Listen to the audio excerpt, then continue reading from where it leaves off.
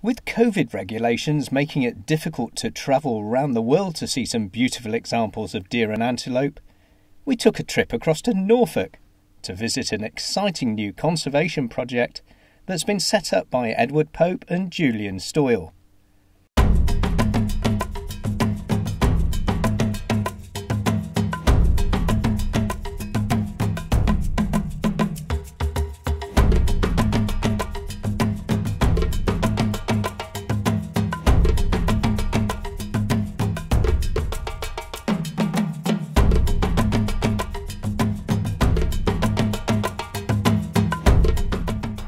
Story really is my passion for conservation, um, both native species and, and around the world, brought up uh, in amongst nature.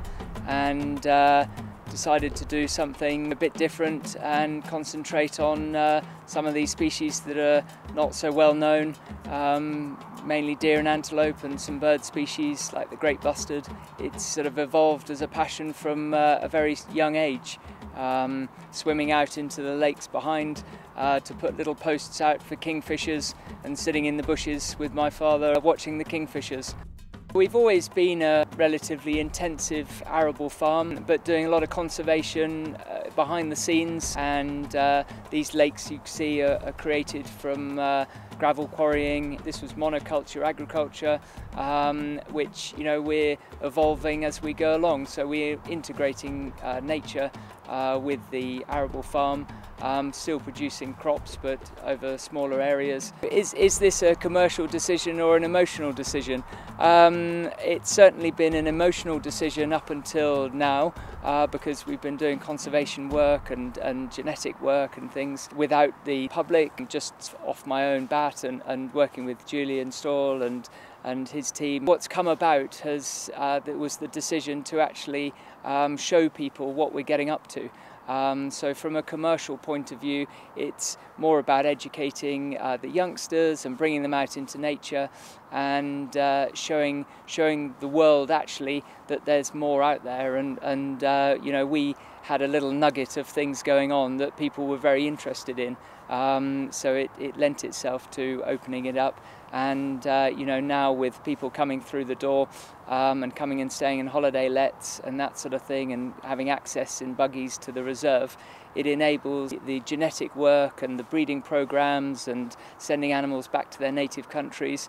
Um, it enables that to happen more readily. I was absolutely terrified when the first people came through the door. Uh, you never quite know whether it's just your passion and would anyone else be interested? Would anyone else sort of get the, the concept of it? Um, and actually, the feedback has been totally phenomenal. I, am blown away by it. It came about from uh, meeting Julian Stoyle and uh, him and I, uh, we just chatted and chatted and chatted about deer, antelope, uh, grass, and um, conservation and genetic breeding programs and things like that.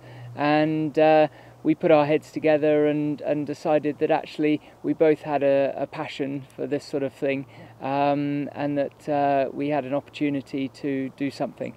Um, I had uh, a piece of rough ground um, and uh, it, it evolved from there really. It's amazing where a passion can take you. Um, I was at a park um, in Norfolk and Ed rang me up, wanted to do a bit more with um, with deer and learn a bit more about deer. He'd already done a fair bit of wild stuff, but a bit more about the park side. So he came over and, and met me and we just became friends from there really. Um, and then I'd had my own deer at that time and I wanted to do a bit more with him with my deer. Um, and also the conservation side, he was really interested in what I was doing with the zoos and conservation. So um, from there, we started helping each other set up uh, some of the rarer species, the, the overflows that we had from the zoos, because I had struggling with space. And that sort of carried on for about five or six years. Um, and I was going into different parks, going in, improving the genetics, uh, the management, the fertility, and then moving on to the next park. And then Ed said, oh, if I ever you know, wanted to do something here, he'd be really keen. I mean, the thing is with zoos, and it's not their fault really, that, you know, it's all about bringing in the public. And the wow factor is lions and tigers and elephants and rhinos, these big things. Deer are pretty and they just seem to be fillers really. But in their own right, they're, you know, they're species that are, are dying out in different populations. So, um, what's happened is they're sterile populations, groups of females, groups of males. Um, they've been there for a long time from the original. A lot of the zoos started in the late 60s, early 70s. Um, and, you know, a lot of them are inbred, uh, poor genetics, uh, where deer parks have had other species like fallow and red and more of the common species, but managed really well, given a healthy herd. And what I was trying to do is put the zoos and safari parks together with the private sector and show the management of deer parks could really help uh, the zoos and in what they do. And the other thing definitely where zoos um, not a, a, bit of a downfall for them is that they're overpopulating in animals so they're zero grazing and they're feeding a lot of these animals um, you know artificial foods. What we're trying to do here like at Watatunga is to I mean sometimes these animals come from zoos and don't know what grass is. So we try and bring them into this natural environment and teach them what grass is. So that's where the parks could come in um, bring them back to their more natural environment um, and uh, then eventually the potential could be that they could go back to country of origin as well. And it'd be lovely, I think, for the private sector to be part of that uh, program. And obviously parks have to look at the economics of this and how it's going to benefit them. And I can see long term that uh, potentially if they improve the genetics of these conservation species, then around the world, um, zoos and safari parks or conservation places are going to want those new genetics uh, that, that private sector have bred uh, to a higher standard. Um, and I see huge potential in, in deer parks where at the moment they've got a lot of acreage and maybe you know a thousand fallow where they could have 500 fallow uh, but two or three other species that are really being part of um, conservation and, and, financially that can work in the venison. I see a lot of deer parks with one or two species where they could have four or five. More interesting for them. A lot of these deer parks um, have wedding venues and, and, different outlets like that. So it actually works for the public because um, yes, they're all deer, but they look very different. Um, so there's lots of um, financial revenues for the private sector uh, for what we're doing as well. There's a commercial element to uh, some of these conservation species. Um, for example, um, you know, they're, they're a bit different. People want to come and see that. Um, you know, if you've got a stately home with a, a deer park, perhaps just having fallow deer or red deer um, doesn't have that uh, USP anymore. Um, and if you can incorporate it with conservation, these animals can have a value.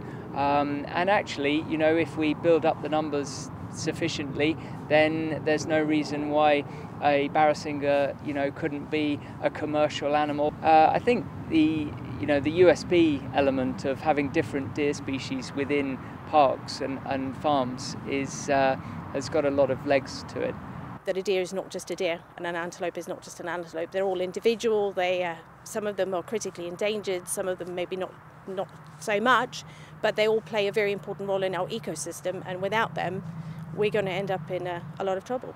So telling people and explaining it to them makes it a little bit more clear. And when people leave, they feel like uh, they've had that chance to connect with nature. A lot of uh, people come and uh, feel like they've learned something not just about the deer and the antelope and the nature here, but also about themselves and how important it is to have these areas um, and have these animals and the wildlife, especially for humans, to just be able to take a step back sometimes and just relax. So using um, deer parks is a, a, really good way of being able to uh, expand the numbers of animals we're able to keep. So take, for example, the Vietnamese sika. So the Vietnamese sika is a, a um, one of the subspecies that's now extinct in the wild. Uh, there's been a lot of hybridizing going on, um, but if we had a park that said, right, we're prepared to take some of them on and breed them and set up a nice breeding group that we could make sure uh, was managed correctly, had the good genetics in it, and potentially instead of having five or six animals all sort of uh, incorporated into a big area at a zoo, you could then take that, that species out and put them into their own area where they could thrive in a park or a, you know in a big estate where they had the space got uh, deer and antelope species um, from all over the world and bird species. Um, we've got the great bustard storks um, and the antelope, uh, roan, blesbok, scimitar oryx, um, sitatunga, and water buffalo and deer species, uh, barasingha, uh, Malayan sambar, hog deer, axis deer, um, a whole mass of, of things. Uh, deer and antelope is what we sort of specialise in, but the birds as well. both native and non-native. So the uh, oyster catchers, terns, all coming in to nest on our islands in the lakes, um, and the water buffalo. Um, they're used as uh, conservation tools uh, out into wetland areas, um, English nature projects, and uh, stewardship schemes uh, for rejuvenating derelict grassland and stagnant waterways. Uh, they get right into the water, uh, wonderful swimmers, um, and in fact, they will actually go down uh, like a hippo, walk along the bottom, and pop up uh, 20 yards further up. But the, the pond life or, or, the life that comes back um, into these stagnant waterways is phenomenal from putting buffalo in.